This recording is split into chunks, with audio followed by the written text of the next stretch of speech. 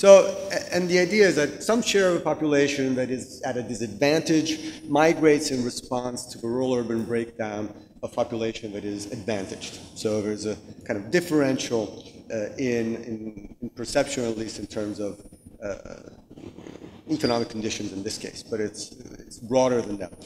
So the star curve is rural-urban divide, the more people affected and the more migration there will be. So that's the, the bottom line, right? And the model in spirit is compatible with the Harris-Todaro approach, this notion that people migrate because of an expectation of improving their livelihoods. Um, the paper has uh, kind of a model that is developed based on a physical analogy. I'm not going to get into that uh, for this presentation, but it is essentially a model that has a certain level of structure and can be interpreted. Now, so the basics of the approach. So the basic premise of the approach is that there's a cutoff income level separating the poor from the non-poor uh, when it comes to the incentive to migrate. So if you are below the moderate poverty line, you're in that category that would like to be above the moderate poverty line. And so it depends the breakdown of rural, rural urban population in these two categories. So uh, we will be operating with shares of the national population that are above or below the poverty line, both in rural and urban areas, uh, and dealing with net migration rates between uh, rural and urban areas. So the rest is best explained uh, graphically, so I'll try to walk you through a little bit the, the thinking behind this paper. Uh, so here we have on, on the x-axis the percent of urban population in the total population on the y-axis a percent of the rural population in the total population. And we start by mapping the share of people below the moderate poverty line. So this uh, is for a hypothetical country. Uh, you have that 15% uh, of the people are uh, urban poor and 50% are rural poor, right? So this diagonal line is the isopoverty line. So essentially, if you migrate in the short term, you're just moving along this line, meaning migrating per se does not change your income level. So the act of migration just moves you along this line. Uh, so if you're going from, from rural to urban, you'll be moving down that, that diagonal. Now we, we plot the uh, share of a population that is uh, uh, above that poverty level. And there too, I mean, the rural and urban breakdown. So this uh, schematic representation is one where uh, the higher income uh, population is mostly urban, not very rural, right? So you have that essentially in urban areas, income, uh, the, the, the, likelihood of being poor in urban areas is lower uh, than that in rural areas based on this breakdown. Now this diagonal line is the total population line. So you're adding these two vectors uh, and essentially you get uh, whatever combination you have over time, you end up on that diagonal when you add up these two vectors, right? So uh, the, and, and, this is the rural-urban breakdown of the country. So in this case, you have that the country is 45 percent um, 45% uh, urban and 55% uh, rural. Right? Now, the, the basic, uh, and here what we're trying to do is, does this work? Yes. Um, I'm not sure how well people can see uh, from, from the back, um, but the basic analogy that we're trying to make is that the more the um, these two vectors are aligned, the lower the incentive to migrate. And so, for example, if you're, if, if the situation is like this, where you have the same kind of uh, distribution among the poor between rural and urban, but among the better off, it's, it's more along that diagonal. The effect there is that essentially your likelihood of being, uh, if you're poor, moving to an urban area, the likelihood of being poor is exactly the same uh, you know, you know, kind of abstracting from the fact that it depends on skills and a number of different things, but in a purely kind of uh, statistical manner, if you want, right? So this notion that if you move from a rural area to an urban area, you're going to improve your livelihood, the expectation is pretty low. Whereas in a situation like this, in fact, uh, the proportion of people that are poor in urban areas is lower. So what matters is this angle theta uh, and the size of you know how many poor you have, how they're distributed between rural and urban areas, and uh, similarly in terms of those above the poverty line.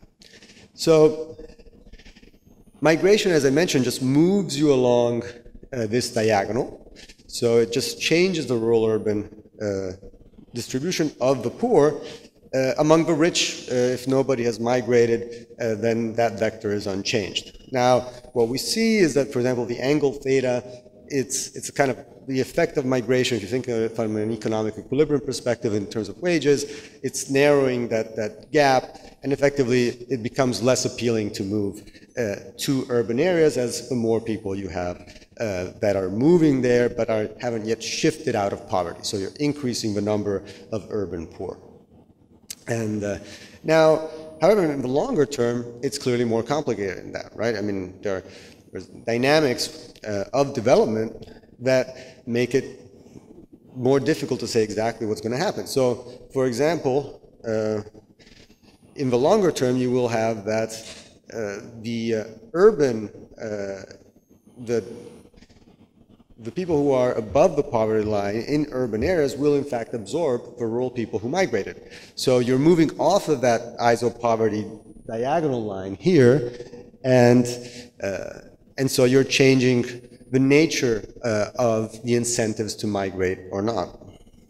So, um, and here also in the longer term, you have another kind of complication, which is there's a natural rate of urban increase linked to differentials in mortality rates between rural areas and urban areas. So you have to factor in, once you go into the empirical side, uh, you have to factor that in. But essentially, uh, you have a component that is due to natural migration, natural growth rates, uh, differentials between urban areas and rural, and rural, areas, and then something that is uh, urbanization due to migration. Now, up on the top, in, uh, in summary, is what comes out of the model, that you can estimate the migration rate as essentially the cross product of those two vectors. And uh, in terms of the, the magnitude of the, uh, of the size of the population that is below the poverty line, the magnitude of the size uh, of the population above the poverty line H, and then this angle that shows how much uh, they, they, express a difference. The, the, sine of the angle theta, basically that angle, if the angle is zero, then it means that the incentive to migrate is zero because your chances of exiting poverty are basically very low. Uh, if it's a big angle, then it says that really an urban condition gives you uh, that possibility to, um, to move out of poverty. So, uh, as I said, I mean, for this kind of big report that is meant to, uh, to try and be a little bit global, we needed uh, something where we had uh, data. And in fact, uh, for for this uh, below income in rural and urban areas and above the poverty line in rural and urban areas, we have that data thanks to uh, Aoife, who kindly shared it last year for a report that we did. And then the angle between those two vectors is easy to calculate. So in fact, we can think of this measure as an incentive to migrate. And, and so, uh, and the parameter A, which you can then estimate, uh, it represents the propensity to migrate. So let's say a larger L, meaning larger proportion of the population that is poor, means that they will try to improve their livelihoods potentially by migrating. Uh, a larger H implies a certain capacity to absorb uh, people coming in, uh, meaning that there is a, a, a breadth of wealth uh, so that you can try and exit poverty, uh, possibly by going to urban areas if that's uh, if the distribution is in that direction. And as I mentioned, the theta and the sine of theta means unequal distributions of poor and non-poor between rural areas and urban areas. So at the core, I mean, this is a little bit, it's, it's a push-pull narrative without saying what's push and what's pull. It's kind of, it's all determined uh, endogenously. It's very basic, but it does capture this nuance of the differentials. So putting real data to the graphical approach. This is uh, data for China. Uh, up up here is China in 1990. Um, and so, you know, large uh, part of the population was below the moderate poverty line of $3.10 uh, a day. And uh, a lot of it was, a large number of that were uh, rural, 70%, uh, 15% were urban.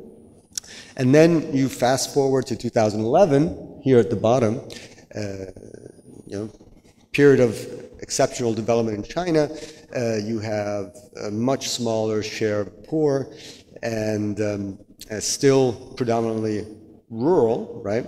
And I think what's, uh, what's interesting is, in fact, the, this incentive to migrate that we calculate in terms of that angle and how it interacts hasn't changed that much. So you've had a lot of migration, but this the incentive to migrate has not gone away, right? It hasn't balanced the essentially what is the labor market.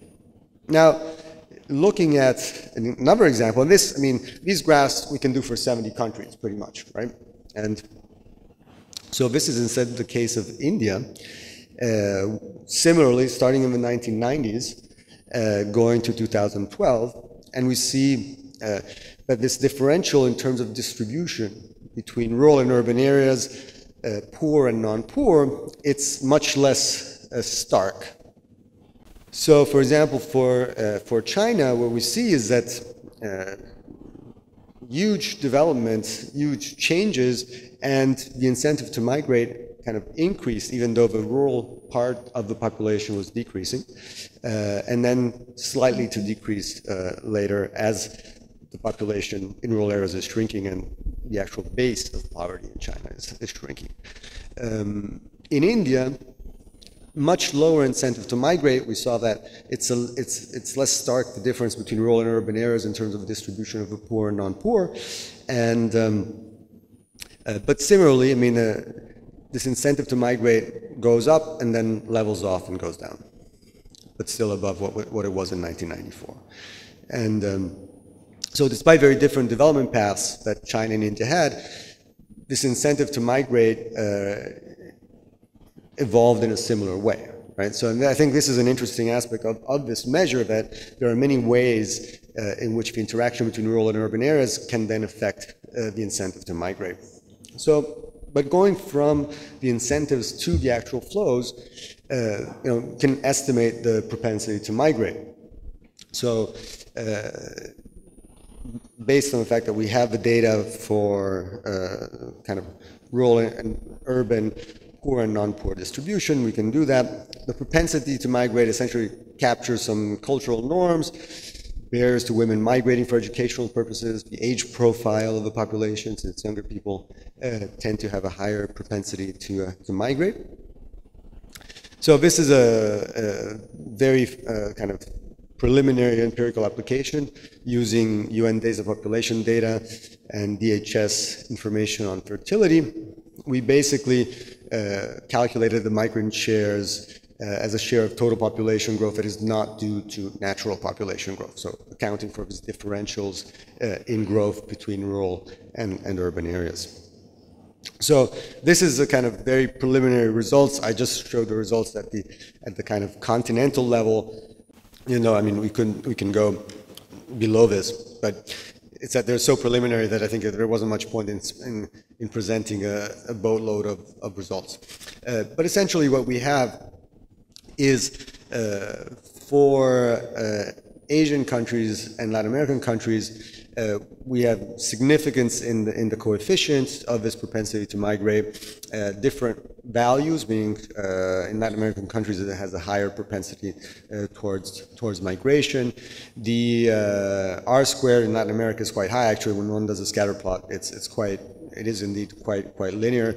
Um, part of it is that, I mean, the propensity to migrate really only makes sense at the country level, right? I mean, it's, it is, so the issue is that you can't really estimate it at a country level. But for example, for the Asian countries, if you do just Southeast Asian countries, the R squared is, is higher, it's like 0.45. I mean, which considering that you're only regressing on one variable, uh, it's, um, uh, I was surprised. And uh, for Sub-Saharan Africa, I mean, we get a, what would be, I would say, a counterintuitive result. I mean, there are two possibilities here. One is, well, you're you know, doing it over a continent. It doesn't really make sense to talk about propensity to migrate. I mean, West Africa is very different from East Africa. It's very different from South Africa. So that's one aspect. Um, the other is that you you could also be capturing the fact that being below the poverty line in Africa may also mean being much below the poverty line, meaning that you're on, in extreme poverty as opposed to in other, in other continents where being below the moderate poverty line, you're still close to that. So you might not have the resources to, to migrate. So you have a lower propensity. So um, clearly, as I said, I mean, the propensity to migrate should be estimated at the country level or at least in homogeneous regions. So we're just starting off. Uh, the constraint here is that we have all the data on the poverty, but we're still working on, on kind of sorting out the, the, the migration rates by country. So we only have a small subset of countries for now.